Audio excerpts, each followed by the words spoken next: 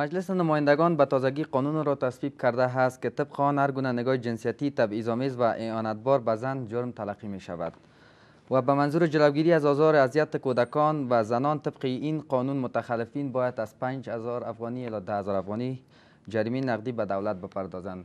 سلام مجدد شما بیننده برنامه آغاز روز با من شفیق کریمی هستید و مهمان من در این بخش از برنامه خانم پرستو یاری فعال حقوق زن. شما را خیلی زیاد خوش آمدید میگم بس خوش باشین. سلام عرض ادب دارم خدمت تمام دستاندرکاران تلویزیونی آریانا نیوز و همچنان بینندگان عزیزی که همین لحظه ما را مشاهده می‌کنن از پرده های تلویزیونش خیلی تشکر. چون این ای قانون از طرف مجلس نمایندگان و از طرف کمیسیون امور زنان مجلس تصویب شده و شما در آغاز می‌پرسم که چقدر از کارکردهای پارلمان راضی هستین تا فعلا در بخش خانما؟ تا فعلا به خاطر تصویب شدن از قانون بسیار رضایت بخش هست بخصوص برای قشر آسیب پذیر جامعه که زنان می باشه. و همچنان کارهای دیگه را که کمیسیون امور زنان پارلمان انجام دادن در راستای زنان و در راستای بخصوص آزار اذیت جنسی زنان که توانستن کمی قانون پاس بکنن از پارلمان کلان دست آورد است. نمی‌توان نادیده گرفت. بله قانون من خشونت علیه زنان از طرف همین پارلمان رد شد و اونا این قانون تصویب نکردن. دلیلش در چی بوده می‌تونه؟ قانون من خشونت علیه زنان چند ماده اختلافی داشتن که به خاطر از چند ماده اختلافی نتانستن که قانون از کمیسیون امور زنان با تلاش هایی که داشتن نتانستن قانون از پارلمان پاس بکنن. آیا واقعا خیلی زیاد نیاز به قانونی که فعلا تصویب شده بود؟ دقیقا. دقیقا. روی چه مواردی روی مواردی که ما اگر فکر کنیم که ما در یک جمله کشورهای جهانی سوم میاییم و همچنان اگر فکر بکنیم که زنان و اطفال مورد آزار و اذیت قرار می‌گیرن نیاز به یک قانون داشتیم که باید چنین قانونی از طرف پارلمان پاس می‌شد. ولی در این کشور دقیقا شما می‌فهمید که خیلی زیاد از قانون ها هست که تطبیق نمیشه. چه فکر می‌کنید آیا این قانون به شکل درست شاید تطبیق شود یا خیر؟ دقیقا می‌تونم بر شما بگویم که ما نه تنها در راستای تطبیق قانون منع آزار اذیت جنسی زنان و اطفال بلکه در راستای تطبیق یک تعداد قوانین مشکلاتی وجود داره که در تطبیقش مشکل است. اما ما امیدوار هستم بعد از اینکه این قانون مدت معینش پره شوه و توسط رئیس جمهور توشیه شوه. در مرجع عمل که قرار بگیره امیدوار هستم که دستاورد خوب داشته باشه و بتانه که از آزار اذیت جنسی زنان و اطفال جلوگیری بتانه. یعنی واقعا می‌تونه که مشکلات بانوان تا جای حل بسازه؟ ما فکر می‌کنم ما تنها با داشتن قانون یا جامعه زنان ما در افغانستان تنها با داشتن قانون نمی‌توانیم اکتفا بکنیم. خود قانون درست است که از طرف پارلمان پاس میشه از طرف قوه مقننه. اما نیاز به آگاهی مردم داره. این قانون نیاز به آگاهی داره که از طریق ملای مامان مساجد از طریق رسانه ها رسانه های جمعی از طریق برنامه های آگاهی دهی دولت و مؤسسات غیر دولتی باید مردم آگاهی پیدا بکنند تا مرحله تطبیق. مشکلات عمده بانوان در کدام بخش ها هست؟ عمدتا مشکلات بانوان در کابل و در افغانستان خاصتا در مرکز که ما شما هستیم. چه, چه, چه مشکلات دارن عمدتا؟ من فکر می‌کنم تنها خانم ها در نقاط شهر مثلا شهر کابل در شهرهایی که مرکز ولایات هستند اکثرا مورد آزار اذیت قرار می گیرن در محلات کار در در انواع و اقسام جاهایی که بگوییم خانم ها مورد آزار اذیت قرار می خب در ماده سوم بند پنج این قانون از آزار اذیت از شبکه اجتماعی ذکر کردن در حالی که هنوز در افغانستان قانون سایبری تصویب نشده و افغانستان فاقد قانون سایبری است پس چگونه می‌تونن اینا متخلفین شناسایی بکنن در این بخش؟ ما فکر می‌کنم هر آن وقتی که یک قانون پاس میشه قبل از پاس شدن قانون ارگانی که آسیب شناسی می‌کنن جامعه را آسیب های را پیش بینی می‌کنن و در نظر می‌گیرن بعدا باز قانون در مورد از او پاس میشه. درست است که ما چون این چیزی را نداریم. اما قانون باید پیش بین باشه که اگر چنین جرم مجرمین مرتکب میشه باید ماده قانون در راستای از جرم مجرمین وجود داشته باشه. قسمی که در قانون بعضی مواداتی هست که مثلا در قانون جزای افغانستان هیچ چیزی پیش بینی نشده. مثلا فرار از منزل هیچ در یکی از ماده های قانون جزا وجود نداره. خب مثلا اگر گیریم یک شخص از طریق فیسبوک سوشال میدیا البته رسانه اجتماعی با یک خانم مورد آزار اذیت قرار میده با آیدی تقلبی. یعنی او شخص واقعا افغانستان یا این پلیس که ایره برای صلاحیت دادن که باید ایره تخلفین متخلفین گیر بکنه یا ای که دستگیر بکنن. واقعا همین کار می‌تونه. خیر چون این خیلی زیاد مشکل است و در افغانستان فکر کنم که شاید هم بگویم ناممکن. ما فکر می‌کنم که هیچ کاری ناممکن نیست که بگوییم ناممکن است. امکان نداره. در افغانستان هم هیچ چیزی نیست که بگوییم امکان نداره. ما وزارت مخابرات داریم. درست است که با نام که نام خودش نباشه نامش تغییر داشته باشه یا با آیدی تقلبی می‌تونه وارد کار شوه مثلا عکسای برهنه خانم ها را میمانند توهین و تحقیر می‌کنن اینمی خودش نظر به قانون اذیت جنسی زنان و اطفال مجرم شناخته میشه. فقط وزارت مخابرات می‌تونه محل و منطقه را شناسایی بکنه و من فکر می‌کنم تا وقتی که هیچ شخصی نظر به هر ملاحظاتی که هست مشکلاتی نداشته باشه در یک منطقه در یک جامعه هیچ وقت از آیدی که بگویم آیدی که به نام از اون نفر نباشه آیدی تغییر داشته باشه چون این کار را بکنن. و مطمئنا مطمئنا وقتی وزارت مخابرات اقدام بکنن وقتی شکایت میشه شکایت درج میشه و این شکایت هم قانونی هست. این راجع میشه به وزارت مخابرات. از طریق شبکه های اینترنتی شبکه های مخابراتی است حتما. باز حداقل منطقهش محلش جایش مشخص میشه که چی شخصی کار انجام داده. خب در یک قسمت از این قانون در رابطه با این که وظیفه دادن برای ملای امامان مساجد تا تبلیغ بکنند و برای امی کسایی که اونجا مراجعه می‌کنند ای تبلیغ بکنن که دیگه از این کار صورت نگیره و آزار اذیت دیگر به خانما نکنند. ولی زیادتر یعنی قبل از این تقریبا یک ماه دو ماه پیشتر و یا یک سال پیشتر اگر ما مثال ببتیم خشونت های یا تجاوزات جنسی از طرف این ملا امامان مساجد که طبق گزارش هایی که از صورت گرفته پس چگونه؟ یعنی شما فکر می‌کنید تطبیق میشه یا خیر یا واقعا از این عمل جلوگیری میشه یا نه؟ ببینین هر چیز ما نمی‌خوایم یک شبه تایی کنیم. درست است قانون نو از پارلمان پاس شده مدت معینه خود پوره نکرده هنوز رئیس جمهور توشیه نکرده. باز وقتی وقتی قانون توشیه میشه توسط رئیس جمهور هر ارگانی که مکلفیت دارن پاسخگو می باشند در قبال مکلفیت خود.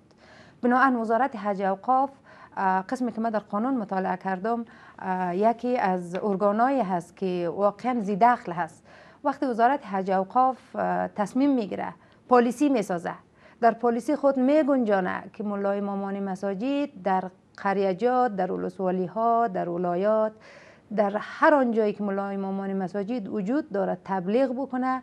بناهن بدون شک ما می‌تونیم بگوییم که هر آن وقتی که مولای مامان مساجد خود دست به چنین کار بزنه ای خودش مجرم شناخته میشه. بناهن این وظیفه مردم است. این وظیفه مردم است. وقتی مردم آگاه میشن این وظیفه مردم است که باید به مرجع مربوطه شکایت بکنن شکایت درج بکنن. ولی شکایت رسیدگی شده؟ امی اعمالی که قبل از قبل از قانون صورت گرفت از طرف ها چقدر به این مراجع شکایت کردن برای شکایت رسیدگی شده یا نه؟ ولی تا بال من فکر نمی کنم اندک بعضی شکایت ها رسیدگی شده باشه.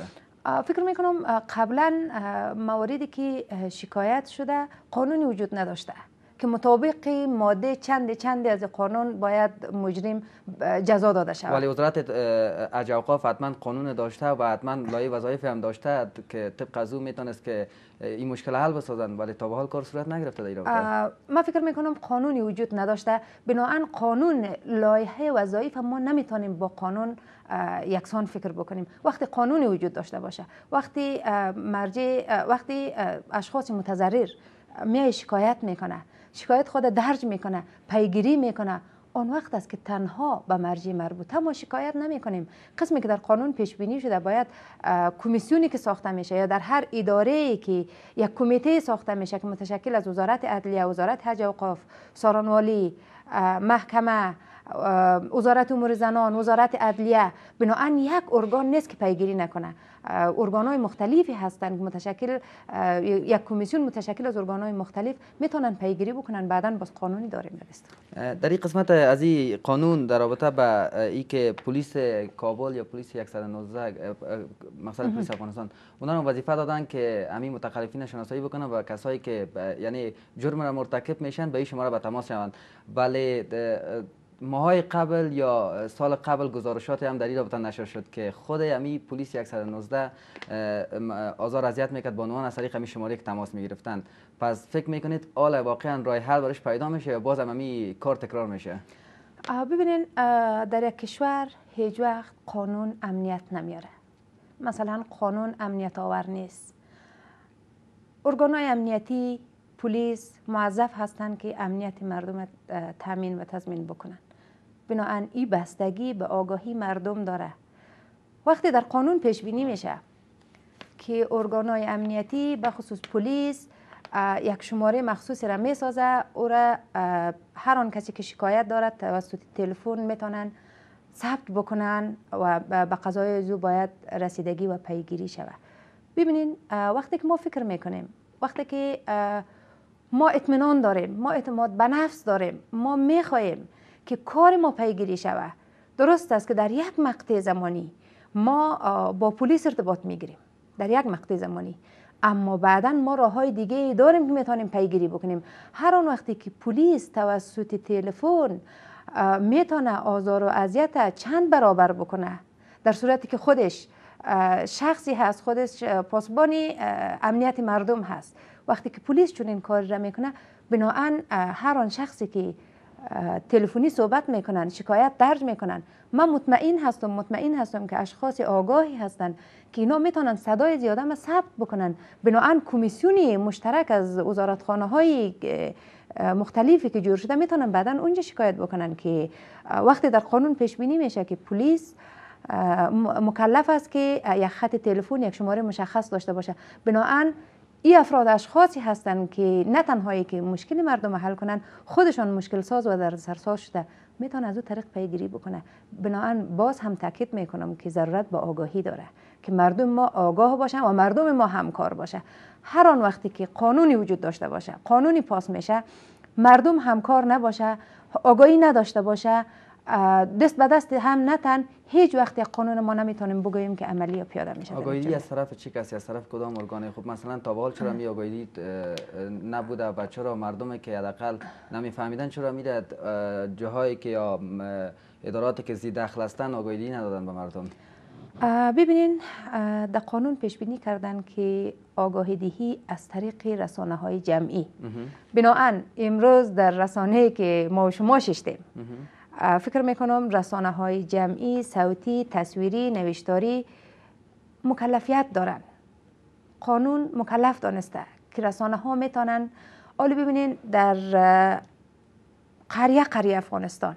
در هر آنجایی که بخوای تلویزیون هست رادیو هست شبکه های اجتماعی فعال هست درست است که نشرات چاپی نمی‌رسه. بناهن وظیفه رسانه های جمعی هست. وظیفه مولای مامان است که اینا می‌تونن همچنان ارگان هایی را که در قانون مکلف دانستن که از طریق برنامه های آگاهی دهی باید اینا آگاهی بتن برای مردم که یک وقت طولانی را در برخواد گرفت. باز هم من فکر می‌کنم که به همکاری خود ما خانم ها نیازمند است قانون. به همکاری فرد فرد از جامعه قانون نیازمند هست تا قانون تطبیق شود. خب قبل از این قانون بازم یادآور شدم قانون من خوشنط علیه زنان بود. در اون قانون روی عروسی های خردسن هم صحبت شده بود. ولی در این قانون از او چیزی یادآور نشده فکر می‌کنین این موضوع خیلی زیاد مهم تر است یا او عروسی های خردسن ببینید ما در یک موضوع خاص قانون داریم. قانون پاس میشه. قانون بعدی را که قوه مقننه پاس می‌کنه هیچ وقت ماده را در او قانون نمی گنجانه که در قانون قبلی گنجانده شده باشه. وقتی که فعالین حقوق زن وقتی که زنان در اجتماع فکر می‌کنن تلاش می‌کنن و به می تاکید کردن که قانون من خشونت علیه زنان باید به عنوان قانون خاص باقی بانه تحت عنوان کد جزایی نباید بره. به خاطر که موثریت خود از دست میته یعنی امون مواداتی که لازم الاجرا هست زیر سوال می‌بره. اینمی خود نشان دهنده از این هست که قانونی وجود داره. هیچ نیازی نیست که در قانون بعدی ماده که در قانون قبلی وجود داشته باشه باید درد شود و همچنان تصویب شود. و ای که آیا واقعا تا به حال به خاطر اونمو جرایم یا عروسی های خردسن و بعضا ظلم و ستمی که در قریه و قصبات افغانستان بالای دختر خانم میشه که گفتین در قانون های دیگه هم یادآور شده یعنی نیاز به این قانون نبود. چقدر کار صورت گرفته؟ واقعا قانون تطبیق شده تا به حال یا نه؟ ببینین ما میگیم که قانون جنبه عملی داشته باشه. ما قانون جزای افغانستان نداریم. در افغانستان هیچ وقتی چنین چیزی در قانون جزای افغانستان جزا برای مرتکبین چنین جرایم پیش بینی نشده. بناهن وقتی که ما تاکید می‌کنیم که قانون من خشونت علیه زنان باید قانون خاص باقی بانه به می دلیل است که ما می‌خواهیم که مواردی که در قانون من خشونت علیه زنان گنجانده شده باید عملی شود و همچنان از یک طرف چیزی دیگر نادیده نگیریم که ما در یک جامعه زندگی می‌کنیم که رسوم و انعنات ناپسند واقعا حاکم است. واقعا حاکم است. اکثریت ازدواجا که صورت می‌گیره کسایی که خودشان مثلا دختر و پسر هستند. حتی دخترها جرأت از کردن نمی‌تونه که در یک ارگان عدلی و قضایی بیاین شکایت ثبت بکنن. به دلیل از که پدر بازم میاییم پدر میگه آبروی مرا بردی. برادر میگه آبروی مرا بردی. فامیل میگه آبروی مرا بردی. هر آن شخصی که در او خانواده هست تاثیرگذاری اینمی رسومانات ناپسند در خانواده ها باعث شده که حتی زنان اکثر در قریجات می‌بینیم که زنان فامیل این کاری که درست است که غیر قانونی انجام میتن شکایت از این کار ننگ میپندارن. چقدر امیدواری ها وجود داره از اینکه این قانون جنبه عملی واقعا به خود بگیره؟ گرچه ما قانون خیلی زیاد از این هم داشتیم تا به حال دقیقا زیاد هم عملی نشده. ولی امیدواری ها چقدر به خاطر جنبه عملی شدن این قانون وجود داره؟ ما امیدوار هستیم. هیچ وقت نباید امیدوار باشیم. امیدوار هیچ وقت نباید ناامید باشیم. باید همیشه امیدوار باشیم و هیچ چیز را آدم صد فیصد گفته نمی‌تونه و نباید گفت. ما امیدوار هستیم و همچنان فعالین حقوق زن که دادخواهی می‌کنن تلاش می‌کنن که قانون هر آن چیزی که تصویب شده باید عملی شود. قسمی که بعضی کارهایی که صورت می‌گیره گرفته قبلا در قانون من خشونت علیه زنان پیش بینی شده وزارت امور زنان کمیسیون مستقل حقوق بشر افغانستان ارگان های غیر دولتی که در راستای حقوق زنان فعالیت می‌کنن بسیار زیاد آسیب شناسی کردن جلوگیری کردن. ما نمی‌تونیم بگوییم که من امیتانه. اینمی که بر مردم جرأت دادن. اینمی در یک مقطع زمانی که بر مردم جرأت دادن. که مردم بیاین شکایت بکنن. قبلا هم چنین چیزایی وجود داشته در افغانستان. ما نمی‌تونیم بگوییم چنین چیزی وجود نداشته. قبلا هم وجود داشته در افغانستان. اما به خاطر که سطح آگاهی مردم پایین بوده نتانستن که صدای خود بکشن. بنابراین آل آگاهی مردم به یک آگاهی رسیده. مثلا در ولایت که شما می‌بینید که خودسوزی زنان بسیار زیاد وجود داره. از جمله ولایت هرات چند چند ولایت دیگه. این به این معنی نیست.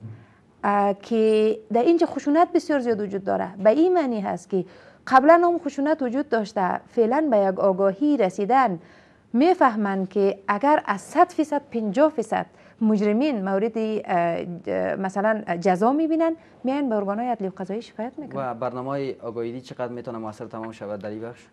برنامه آگاهی بیش از 60 70 فیصد می‌تونم بگویم که موثر تمام میشه. یعنی واقعا مشکل حل می‌سازه و کسایی که از این قانون با خبر نیستن واقعا اونا رو دقیقاً دقیقاً مشکل حل می‌سازه. و خواستای شما از پارلمان ریاست جمهوری و همچنان کمیسیون حقوق بشر چون اینا نهادهای موظف هستند و در این حسابت کار بکنند خواست عمده ما از پارلمان این هست که و بخصوص از کمیسیون امور زنان پارلمان من سپاسگزاری می‌کنم. که این قانون را در یک جامعه بحران زده که فعلا وجود داره بخصوص در قبال زنان و اطفال چون این قانون را پاس کردن. و تاکید ما این هست خواست ما این هست از پارلمان که قانون من خشونت هر آن چیزی که قبلا وجود داشته باید پاس شود. یک. دوم دیگه از رئیس جمهوری خواست ما این هست بخصوص خواست طبقه زنان این هست که باید اینمی قانون چون مدت معینه خود پوره نکرده تا وقتی که مدت معینه را پوره می‌کنه توشه و بعدا در مرحله اجرا قرار داده شود و تعقیب شود و از پارلمان هم به عنوان از اینکه قانون پاس کردن قوه مقنن هستند مرجع قانونگذاری هستند به خصوص کمیسیون امور زنانش خواهان از این هستیم که در راستای عملی شدن از این قانون همچنان پابند و استاده باشه. خیلی تشکر از شما بانو پرستو یاری فعال حقوق زن. و تشکر می‌کنم از شما بینندگان عزیزم که تا این دم بسمان رو دنبال کردین. تا برنامه دیگر بدرود.